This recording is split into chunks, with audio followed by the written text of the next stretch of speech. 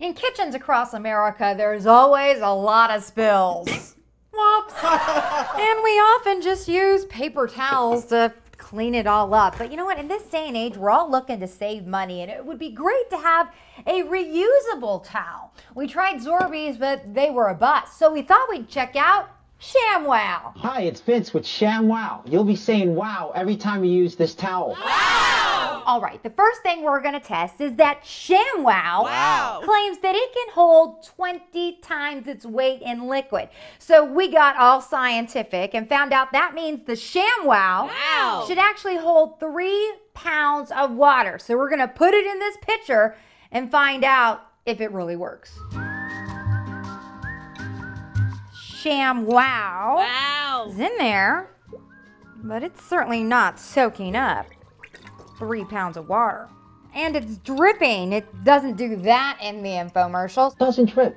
Doesn't make a mess. So for this first test, ShamWow wow. is really wowing me. All right, the next test that ShamWow Wow. can actually pick up a spill better than a paper towel, and it can do it wet or dry. First, let's do the paper towel test. Clean as a whistle. Now let's try the ShamWow. Wow. Wow. Actually, that did do just as well as the paper towel. Wow. But will it do it just as well wet? Let's try to clean it up. Wow. The ShamWow Wow. works even when it's wet. Now you're wowing me. Move over, Billy Mays. ShamWow Wow. claims it can even get stains right out of your carpet. We're gonna do this in real time.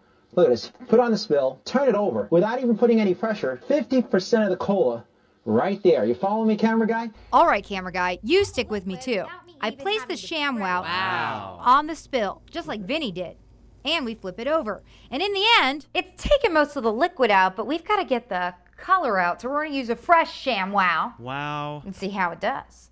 I got to let you know, one thing that really isn't wowing me, ShamWow Wow. smells Wow. bad.